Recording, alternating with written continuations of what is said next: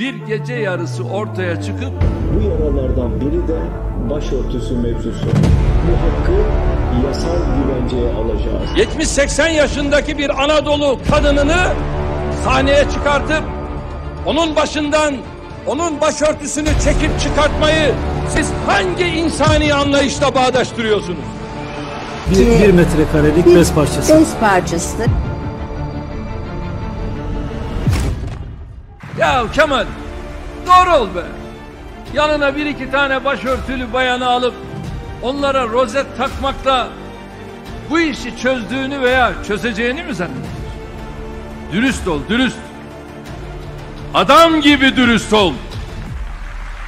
İstismar siyaseti yaparak milletin karşısına çıkma. Bu zatın artık yaşanmayan bir sorunla ilgili bir gece yarısı ortaya çıkıp kanuni düzenleme teklif etmesinin gerisindeki riyakarlığı görüyoruz da başka ne hesap var? Onu da değerlendirmemiz lazım. Öncelikle bir kez daha altını çizerek belirtmek istiyorum. Bugün Türkiye'nin gündeminde başörtüsü diye bir mesele verdiğimiz mücadele ve yaptığımız düzenlemeler sayesinde hamdolsun artık kalmamıştır. Geçmişte bu ülkede başörtüsü diye utanç verici bir mesele yaşandıysa bunun tek müsebbibi en bariz örneğini bizzat Kılıçdaroğlu'nun temsil ettiği CHP zihniyetidir, CHP faşizmidir. İşin esasına bakılacak olursa genelde kılık kıyafet ve özelde de başörtüsü meselesi ne yasa ne anayasa konusu olmaması gereken tabii bir haktır. Ne diyor? Devletin kurumlarına bu şekilde girilemez. Devletin kuralları var. Devletin kaidesi var. Bu ülkede başörtüsünü örten niye örtüyor? Rabbimin emri olduğu için örtüyor. Bu seni niye rahatsız ediyor? Nasıl başı açık bir hanım kardeşimizin bu şekilde hayatın her alanında var olabilmesi için herhangi bir yasa ve anayasa düzenlemesi gerekmiyorsa aynı durum başörtülü kardeşlerimiz için de geçerlidir. Hani herkesin her ağzını açtığında söze başladığı temel hak ve özgürlükler diye bir kalıp var ya, başörtüsü hakkı da işte bu kalıbın doğal bir parçasıdır. Ama ülkemizde milletimizin inancına, değerlerine, tarihine, kültürüne düşman olan CHP faşizmi geçmişte bürokratik vesayetle ve darbecilerle el ele vererek önümüze böyle bir sorun çıkarmıştır. Ortada böyle bir yasa mesnet teşkil edecek ne bir anayasa ne bir yasa hükmü olmamasına rağmen zorlama yorumlarla ülkemiz bu tartışmaların içine sokulmuş, insanlarımız mağdur edilmişti. Üniversitelerde herhangi bir kanuni temeli olmadan bir günde uygulama değiştiren, kamuda benzer baskılarla insanlarımızı mağdur eden mekanizmayı perde gerisinden işleten hep işte bu CHP zihniyetidir. Aynı zihniyet 1960 darbesini yaptırdıktan sonra sırf siyasi iktidarı rahatça ele geçirebilmek için milletin adamı olarak gönüllerde taht kuran Menderes'i dar ağacına göndermekte de tereddüt etmemişti. Rahmetli Özal'ın Türkiye'ye çağ atlatma çabalarının önüne en büyük engelleri de aynı faşist kafa çıkarmıştı. Bunun için biz eskiden beri mücadelemizi CHP zihniyetine karşı verdiğimizi söylüyoruz.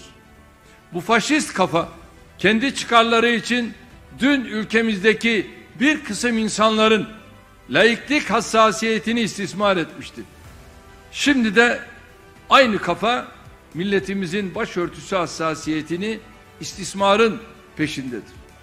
Değerli arkadaşlar, hatırlarsanız biz 2008 yılında Milliyetçi Hareket Partisi ile birlikte mecliste CHP zihniyetinin emrivakiye dayalı zulümlerinin önünü kesmek adına başörtüsü tartışmalarını kökten çözecek bir anayasa değişikliği yapmıştık.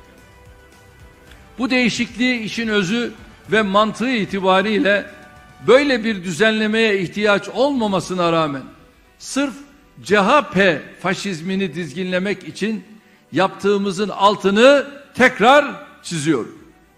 Meclisimizin tarihinde ender görülen bir uzlaşmayla hayata geçirdiğimiz anayasa değişikliği birilerini öyle rahatsız etmişti ki bunu 411 el kaosa kalktı manşetiyle duyurmuşlardı. Şayet bu düzenleme dönemin Anayasa Mahkemesi tarafından anayasanın bu konuda kendisine tanıdığı özellikle sınırın ötesine geçerek verdiği kararla iptal edilmeseydi Türkiye başörtüsü tartışmalarını ta o zaman gündeminden tamamen çıkarmış olacaktı. Bu değişikliği iptali için büyük bir keyifle Anayasa Mahkemesi'ne götüren kişi kimdi biliyor musunuz?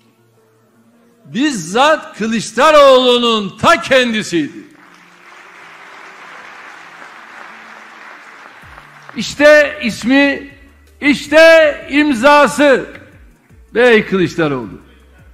Dürüst ol, dürüst. Artık bu yalanların yetti ya. Kılıçdaroğlu'nun iptal başvurusunda yer verdiği başörtüsünün çağdaş demokrasiye tehdit oluşturduğu kamu düzenini, toplum huzurunu ve beraberliği zedeleyeceği ifadeleri hem bu şahsın alnına hem de demokrasi tarihimize kara bir leke olarak kazınmıştır. Aynı dönemde partimize açılan kapatma davasının gerekçelerinden biri de başörtüsü konusundaki özgürlükçü yaklaşımımızdır. Partimiz bu kapatma davasından kıl payı kurtulmuştu. Ve o dönem aynı partinin başındaki zat Ankara'da hakimler var. Savcılar var diye de memnuniyetini ifade etmişti. Dönemin YÖK Başkanı hakkında başörtüsünü yasağını kaldırın, başörtüsü yasağını kaldırın dediği için görevini kötüye kullanma iddiasıyla dava açanların başında da kim geliyordu? Bu Kılıçdaroğlu. Onun da yine işte ismi ve imzası. Kılıçdaroğlu belgeyle konuşuyorum belgeyle senin imzalarınla konuşuyorum.